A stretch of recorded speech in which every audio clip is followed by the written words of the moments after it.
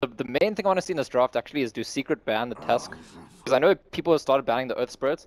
Jerax has actually play, he's played 27 games in this patch and 25 of them have been either Tusk or Earth Spirit. So I just feel like there's a point at which you got to say like make the guy play something else. I, people like yeah. to ban Razor and all sorts of other heroes against Liquid too, but honestly, like if if a player's played the same two heroes that many times, like I, that that to me was one of the things like looking at I, I watched in Castle of the European games during the major qualifiers and people it was talk his Earth Spirit was so talked about like he was like I, he was six and zero I think on the Earth Spirit. The hero itself was seven zero oh in Europe and was like oh Jack's Earth Spirit like you've just got to ban it. But like you say he'd do just as well in Tusk. So I feel like banning the Earth Spirit and giving him Tusk all the time it's like, well, what have you really accomplished? You may as well just let both in the pool and get an extra ban out of it. Yeah, so it's, it's like people have decided that Earth Spirits is like less of a known quantity. I guess they're more used to the Tusk. And uh, the first pick Tusk. It's it's it's completely standard for Liquid at this point. They're first picking Tusk or Earth Spirit unless you ban both. Yeah. Every game.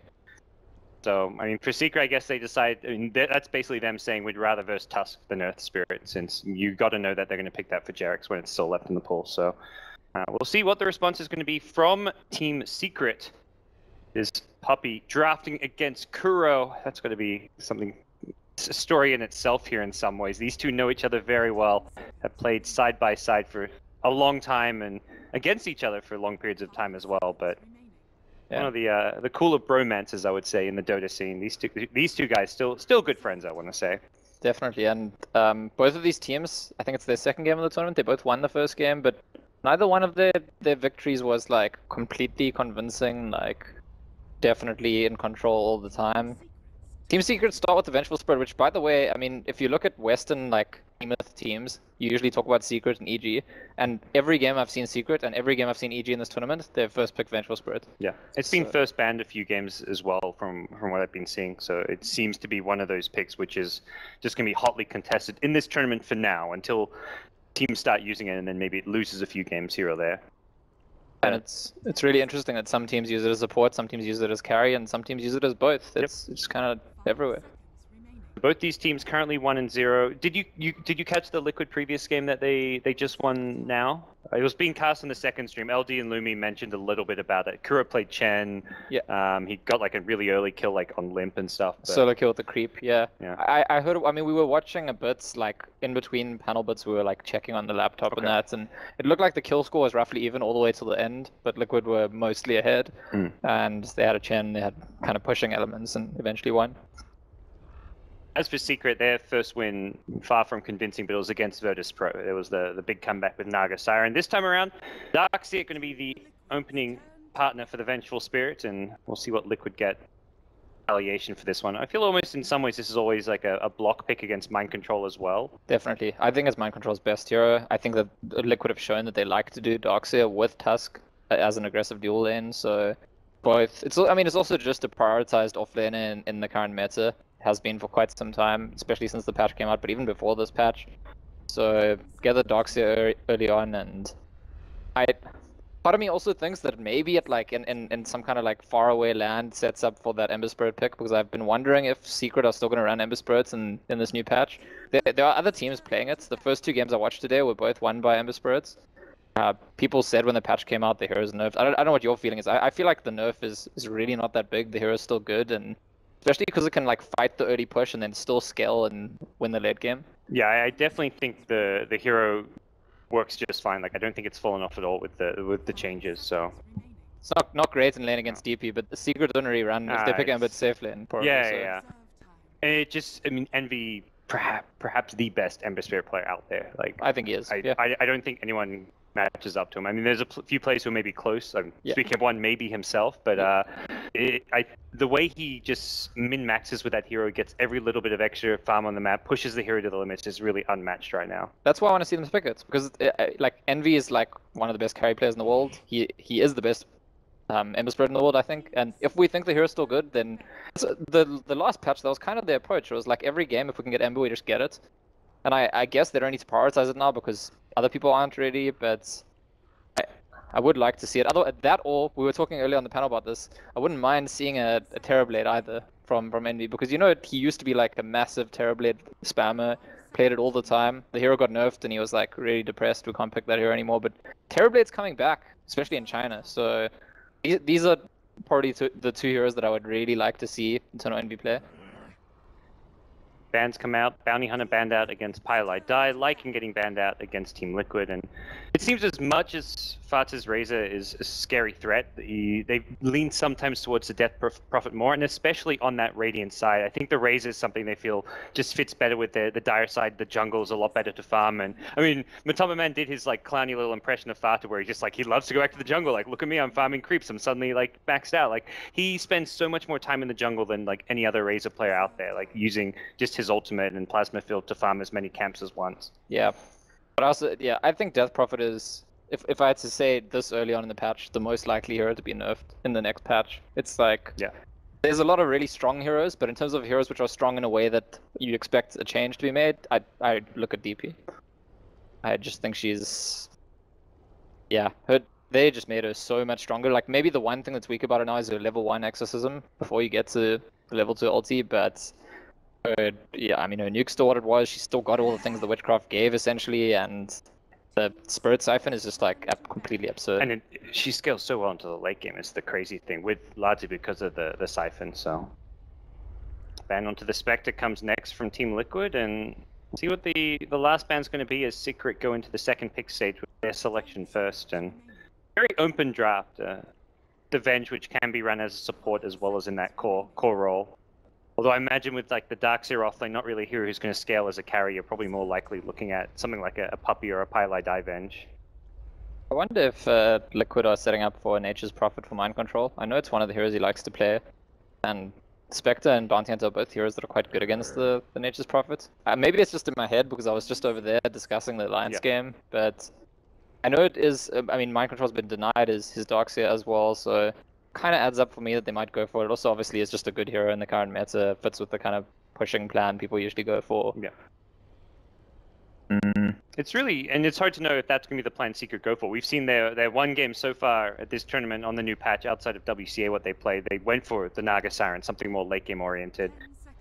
Against the Death Prophet, they that didn't scare them last time from going for the late game Naga Siren. Not to say they're going to looking at it right away. Well, they're, they're definitely not now because they pick up Lone Druid, which is believe going to be for uh, Envy in the safe lane. Yeah, it should be. It is a hero that he's played before in the past, and I, I think he'll be pretty good at it. Like, Lone a hero that I think benefits quite a lot from thinking very carefully about how to optimize your item build and item progression, and Eternal Envy is kind of known for doing that very well. So I, I think it's quite a good fit. Look back towards Liquid, they they've got a support in a mid, so they they could pick for essentially any role right now. No, there's a great answer to the lone lone druid and Darkseer. And the Darkseer, yeah. Like you've got disarm for the bear, you've got the purge against the Darkseer. And the purge also important because that mid game bear with Iron Shell on it is just brutal. So you just throw a purge out, you take the Iron Shell off, you slow it down, and uh, then you can disarm it as well if you want to. So this this seems like a really good pick. And now you've got your support duo that makes your Death Prophet invincible. Like your exorcism going off, you can't. In, traditionally, in the past, the answer to a Death Prophet exorcism is to have enough burst damage that if she's going for a push in your high ground, you burst her down, exorcism gone. But with Oracle and Tusk in the picture, that just doesn't really seem like a feasible answer for Team Secret. At least not something they can rely on. Yeah, I th- I think Oracle is a great pick there. Counters the enemy heroes and as you say, synergizes with Liquid's heroes. But at the same time, I so strange. I, I feel like I've seen Oracles only lose today. I I really? can't be sure okay. about that, but I mean, I, I, I, I, I don't feel like it's yeah. it's been the Oracle's fault, but it just keeps happening. I think I've seen three Oracles, and I, I think they've all lost. There was the game. There was an Oracle pick, and it was like against Darkseer and Ember, and it still lost that game. Yeah, but it, yeah, it lost that one. That was which game was that? That was um. I think that was Navi vs Fnatic. Yeah, yeah, that was the game where it felt like it. it I mean, that that game I don't feel like was too much on the draft because they yeah. they had the um was it? They like went full commitment onto the Death Prophet with Omniknight here, with Tusk, as well as like Oracle, all these protective supports for it. And then it also lost. EG had Oracle against LGD, and I did not LGD. Catch that game. Yeah. Although the Oracle, PPD made a lot of big plays with Oracle in that game, so. Secret pickup Mirana, is that support Mirana? Is that. It's probably support. Kind of needs to be, doesn't looking, it? I mean, Puppey used to play this a bit, I want to say. Yes, yeah, did, if you yeah. go way back. I'm not sure if that means it's going to be Puppey here or pieliedie on the hero, since it's kind of that roaming support in some ways, which maybe suits Pyolite Die.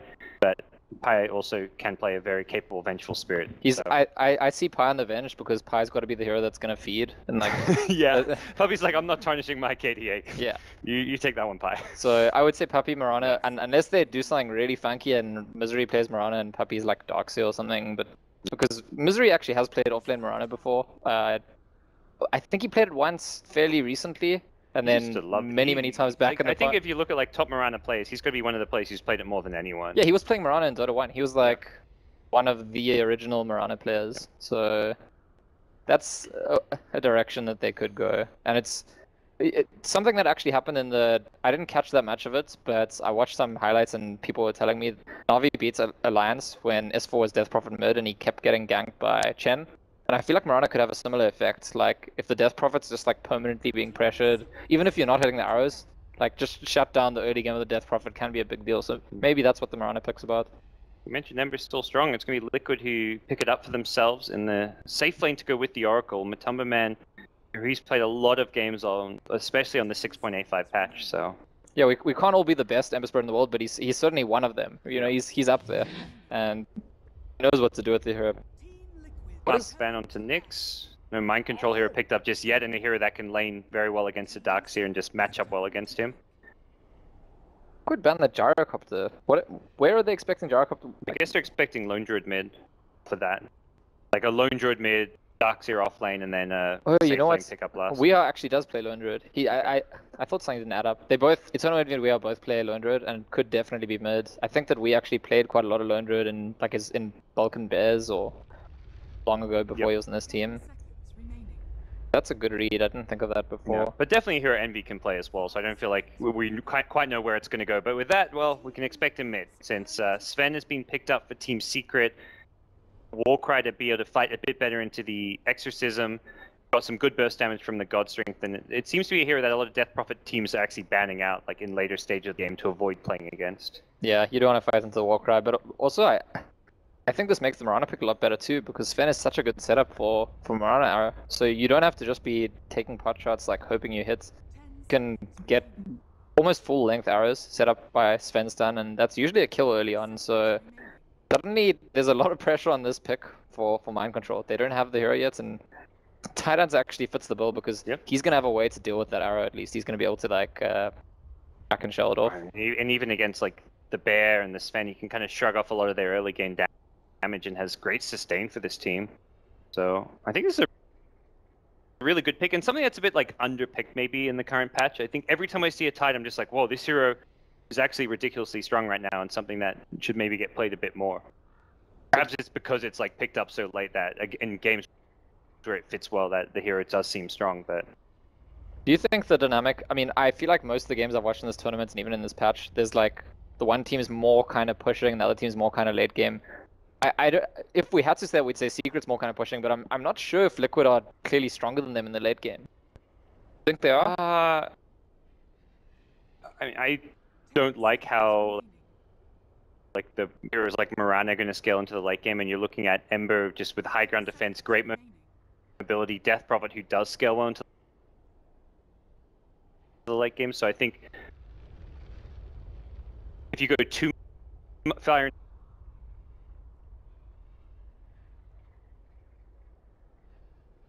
fire into the late game, the Sven gets kited. I think it's that mid game where he's got like his blink BKB Daedalus like he hits that timing and he's he's pretty good for a while but if it keeps like dragging 50 60 70 minutes then he struggles Yeah, so so I would agree that uh, there's more pressure on Secret to do things early, but I don't think it's it's it's not cut and dry. Like if they miss their window, they're just screwed or something.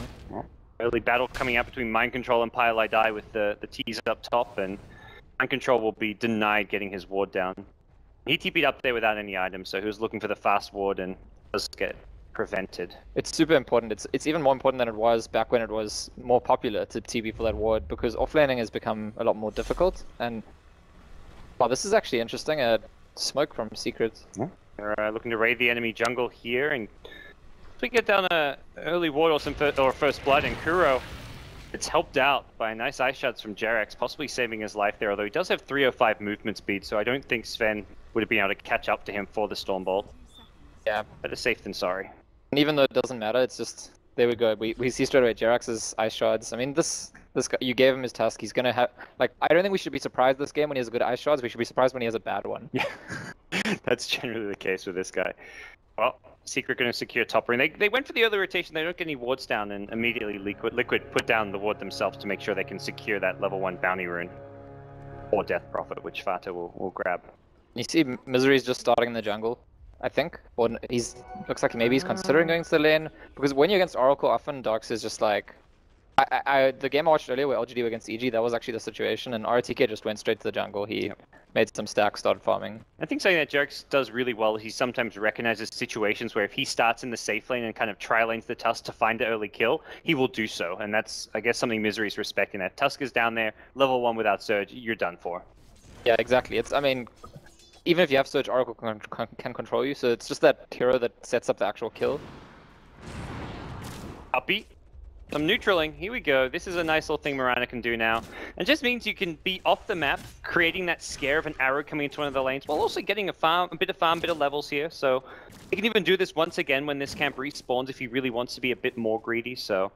Yeah, it's, I mean, this is not the like the thing you see in pubs where people like jungle or Ancients Mirana. It's like you're running around arrowing lanes, and in between you're just getting some value. Yep. That's really the purpose. And he's gonna take one more big creep here as uh, mid lane. Oh, oh, Weehaw taking quite a bit of damage from the Soul Siphon gets pulls back a bit more, and there we go. Puppey, he hits level 2.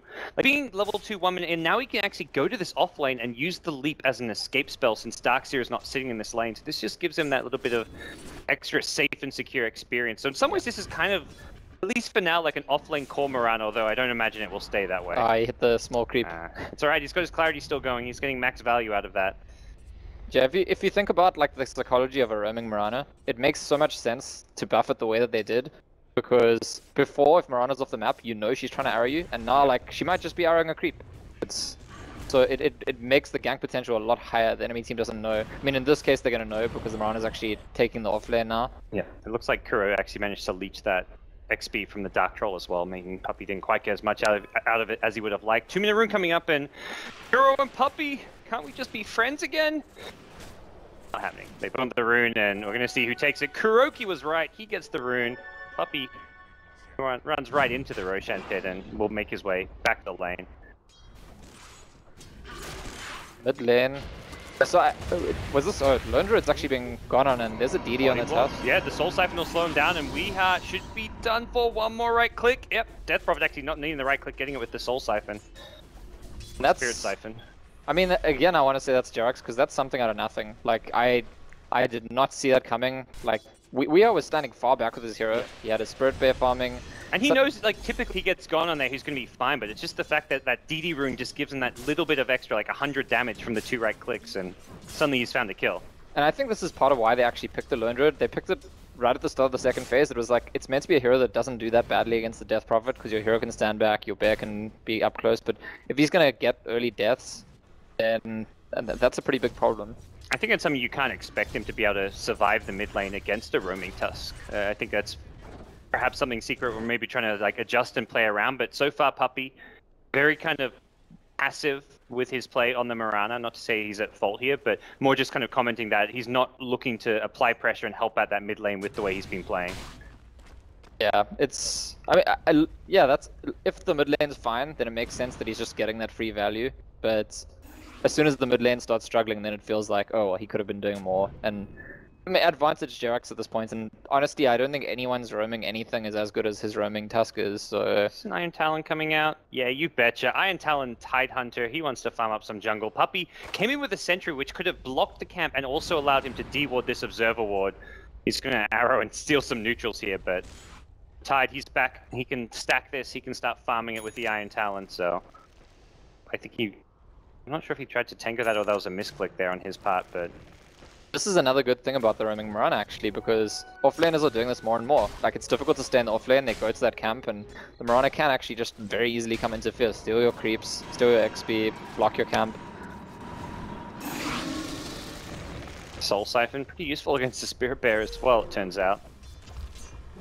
Misery's jungle time has not exactly been that fruitful here. He's only level 3.5 now. Will be about to hit level 4 of this camp and may look to start applying pressure on some of these lanes. He is grouping up both supports also here in the mid lane. This is a, a looking like a clear smoke coming out from the three secret heroes. We'll have to see where they look to head. Possibly the Ember Spirit pre-level 6 could be a prime target for them. Yeah, I'm I'm concerned moving forward. I, I think it's important that Secret make successful plays like this because there's going to be a point where Eternal Envy wants to farm the jungle. You see he's like starting to level cleave very early on. And then Darkseer doesn't have that space. And Lone Druid, if he's behind, doesn't necessarily have that space. So they need to make some actual plays, and they go for the right before he gets 6. Yep. Gets off the Flame Guard, gets a bit of extra survivability because that Kuro goes in with a Purge, but Tumberman's still fairly tanky, Searing Chains, and should be out of here. Puppey able to lock him in place long enough with the Sacred Arrow, and Ember will be back to safety here, and also getting closer and closer to the level 6. So, so important for him. It's very difficult for them to kill him once he's level 6. I mean, if they can stand this, there's, there's always ways to kill him, but let's say Oracle is standing behind Ember Spirits it's near impossible for Ember Spirit well, to die then. I was keeping an eye on Oracle before that gank because Kuro was like one creep XP from hitting level 4, which would have been the first point in Fate's Edict, which would have given Ember Spirit even more kind of invulnerability to that gank. You pop it on him if he's trying to run away and you just block a lot of that magic damage coming out from Iron Shell and possibly even a magic missile if you're there in time. So even without that Fate's Edict, they didn't have any problem getting away. Yeah, so I mean, for me, then the comparison becomes it's no, you know, at, at, at this point, killing Ember Spirit early on is going to be very difficult. He's going to get free farm. Sven is also getting free farm. I think Sven's free farm is worth a lot more, especially if he's doing this like early farming build, taking the cleave, buying the quelling blade. He's probably going to clear through the jungle. Sven can actually get one item ahead of Ember Spirit. He, do you, Eternal Envy just use God Strength just to push the wave? Dang. He's got, yeah, I guess he wants to push the wave and then farm the neutral camp here farm it twice, so I guess maybe the God Strength will wear off before the second time, but... Efficiency plays, I guess you could say. He's got no one in his lane, no opportunity to use it, so he says, like, yeah, let's let's push the wave and farm some neutrals. I wonder if he'll go for the... What I've seen before is when Svens go for this cleave build, sometimes there's the treads mask Madness blink, and you actually farm him almost anti-mage rate in the jungle, you just it sounds counterintuitive to blink with just one point in the stun, but like you say, you just you blink around from camp to camp and Helm of the Dominator always kind of the other like obvious item to get when you've got the Cleave build because you want to be able to stack neutral camps, stack Ancients, although Ancient stacks so far have just been manually done by Team Secret. Yeah, Helm of Dom is actually by far the more mainstream item on Sven these days. But for the super farm build, I, I think Mask Madness is a bit better. But... Envy, they're going on him, they're TPing up the Death Prophet, and they want this kill. This is going to be a tough escape for him. TP's coming in from Team Secret. Arrow going to go flying. Do they dodge it with the snowball? Not sure that was the plan, but it worked out just fine. I don't even think they had vision of it coming in, and Liquid get a key kill on the Sven, and in a position where they could apply some pressure up top with Exorcism available, the double damage Death Prophet, the one rotating in and causing that to happen. And Jerax immediately says, okay, Death Prophet TP'd up top, let's TP myself mid to make sure Lone Druid doesn't get any damage on this tower. Envy bought the Helm of Iron Will as he was dying, so it will be the Helm of Dom build for him this game, which is, I think, the mostly standard Sven build these days.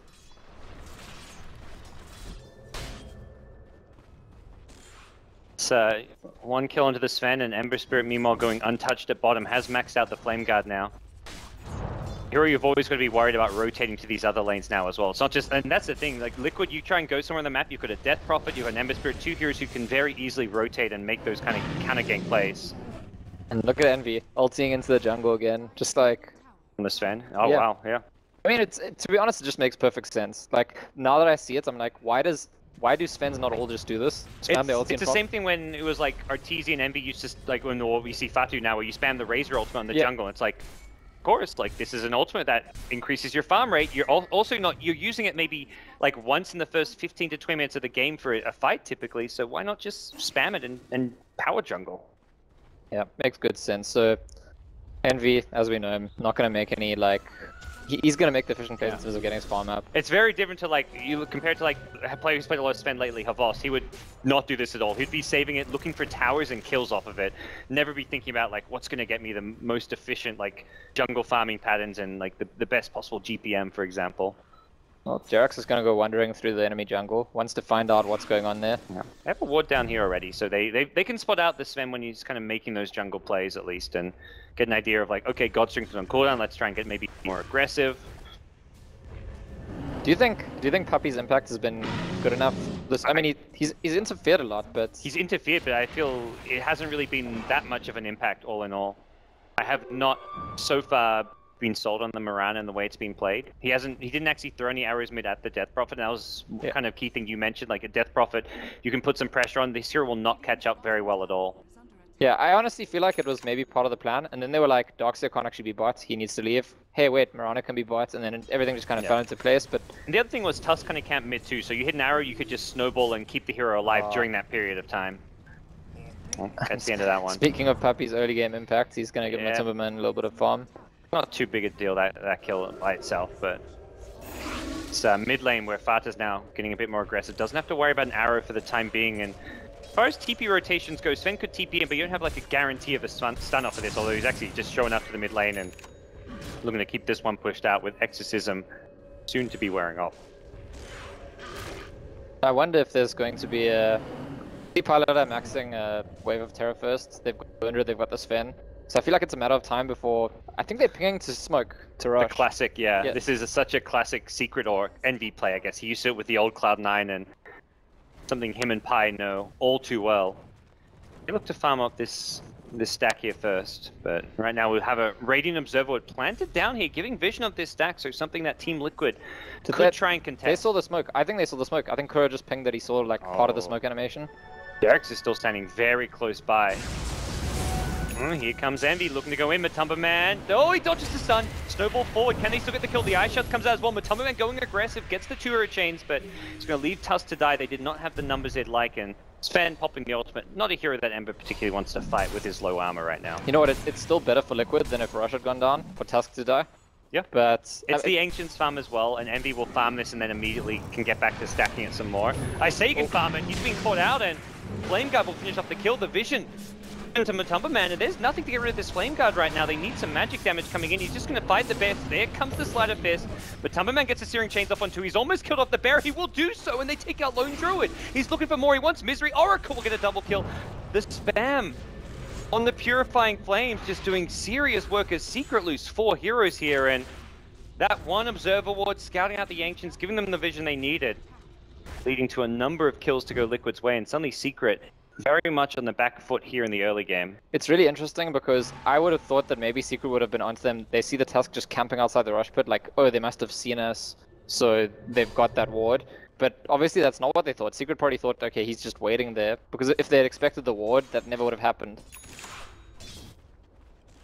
As a result, it's Team Secret who we talked about how Liquid Liquid don't have to get as much done in the early game. It's Secret, and when Secret get fall behind like this, I feel that puts even more pressure onto them.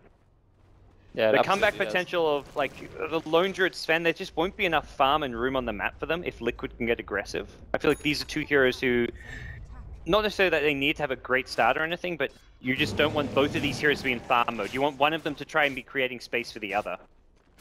Definitely, and and I mean we can come back to the Mirana, which like it's mo the early game is supposed to be like you hit some arrows, you make some space. She's gonna have ulti soon, so maybe Puppey's ulti can set something up.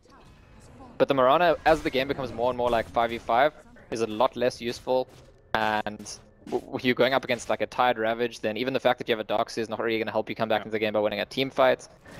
Uh, yeah, honestly, I think Liquid are in a in a really strong position right now, and Yeah.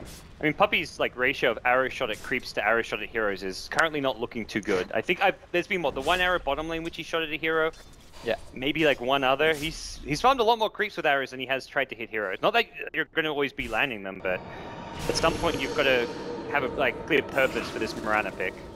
Well, there's the Mirana ulti that should save Okay. pieliedie, but Counter kill on this one. Sven gonna go in, throws the sun, does not have the God Strength for now. The arrow will get dodged by the Eul's Scepter. Oh no, Fata may still get out of this one, but here comes the God Strength. There's gonna be a false promise as well. Fata can just turn and fight. Has he got the heals to survive this one? It looks like yes, he's healing. Here comes Tide Ravage onto everyone. Secret. They lose one, they're gonna lose two. w33ha goes down as well. Puppey looking for the TP out. He'll survive, but they lose. Well, the more important heroes. All three cores go down. Just the two supports dying. Pilot Eye saying, I'm sorry guys, I failed you, I didn't swap save anyone. That, not- that was actually so well played by Liquid, especially Matumbaman, I want to say, who, who like jumps in and waits and waits and waits and then he chains. Like the t- the timing of everything was so perfect Yeah. to like buy time for Oracle to get there to save DP, then Tide gets there, casts the Ravage. Liquid are just completely outplaying Secret right now. I mean, some of the things like the defensive Eul's barely dodging the arrow is just like a very small, like, uh, that's like a timing thing, which was almost somewhat luck, but Yeah, yeah. even so, it's like time and time again, Liquid just making so much out of this. This is really cool. Tide can farm Ancients and this neutral camp. He's like actually made a pathway through. I have not seen this one before. I'm not sure if other players have, have been doing this on the Radiant Tide Hunter, but a little pathway that goes through these two camps. Extra value out of the, the Iron Talon. Yeah, Iron Talon Tide, definitely a, a thing, I guess. He's now farmed up a mech, it looks like, for the old Tide Hunter. I mean, uh, look, I, I guess no matter how where the game goes, there's always going to be a chance that Sven's going to use God Strength, plus like damage from Venge Aura. Darkseer's going to vacuum everyone, and then you, we've seen those clips of like one-shot clear Yep. But for me, it's becoming more and more like that's the game plan because Mirana is losing a purpose. Even the Lone Druid is, to me, like he's got a Midas. He's like sitting around farming, not really any game impact right now. And even if he goes, the Radiance would come up at such a late time, it doesn't feel like it's going to have a big game impact. And if anything, like the Bear will just be an easy unit for the Death Prophet to Spirit Siphon in these fights. So, smoke coming out from Secret. Is this a Rosh attempt or something else? It, looks like they're headed in there. They've got God Strength and Envy. Going to pop it and start fighting. He throws the Wave of Terror, which Oh, actually goes over the. Observer Yeah. Ward. Yeah. They could have spotted that Wave of Terror, and I think it looks like here they come. Tidehunter, no Ravage. Has got Mech here. They're going to pop the Invis. Tide actually walks past. They don't know, it What? seems. Well, they, they might have not been looking at the ward. Yeah, yeah, no, ab- absolutely. You have to have your camera over the ward when they throw that wave of terror, but it was just amazing that Tide walked past and Secret remained cool.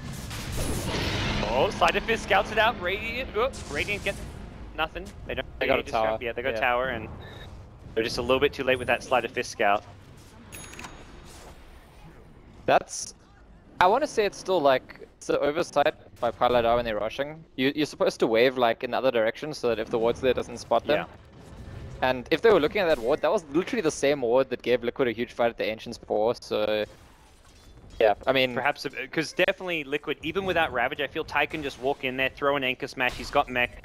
I think Liquid crushed that fight if they if they find them in there, and they had four heroes at least nearby pushing bottom lane. yeah, def- I mean, they they got Mirana on the way out. Secret weren't ready to fight despite the fact they got Aegis. So I, I think that says quite a lot about the situation there. Secret get away with it a little bit lucky. But then then again, Liquid have gotten a little bit lucky here and there as well. So I mean, fair is fair. And Bats is just chasing that wagon. Cardi, come back here, Cardi. Oh, it looks like he dropped the Dominator, so. Creep for you. Oh, he dominated a new creep actually in the mid lane, so he'll send over a range creep to start stacking those ancients, but bottom lane where Liquid say, you have been ages, Well, we don't really care, we're gonna try and push and fight into you until these TPs come in.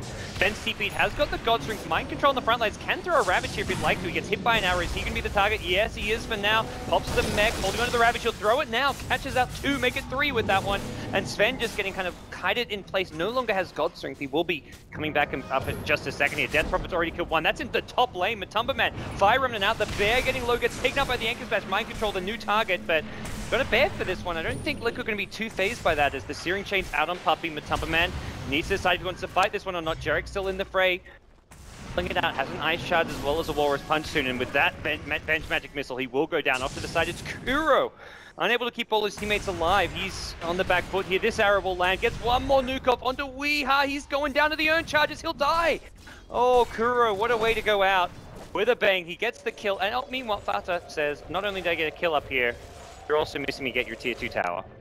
Still a big win for for Secret, I want to say. It's best they could have got in the position they're in. He solo killed the Darkseer, which I guess using the Eul's to cancel off the Surge, I imagine. And for Yeah. Liquid, that overall seems like fight they, they they're super happy about because they fight 4v, I guess 4v4 into an Aegis, trade pretty evenly, kill off the Spirit Bear, and meanwhile Fata getting a tier 2 tower and a kill. Yeah, because of the trade top, I'd be happy with it. But I I don't know. I, I feel like the fights at the bottom lane on its own, Kudo is sufficiently far ahead to not get that many deaths. Yeah. I think it was quite messy. Like Tide had to use mech just to heal himself at the start.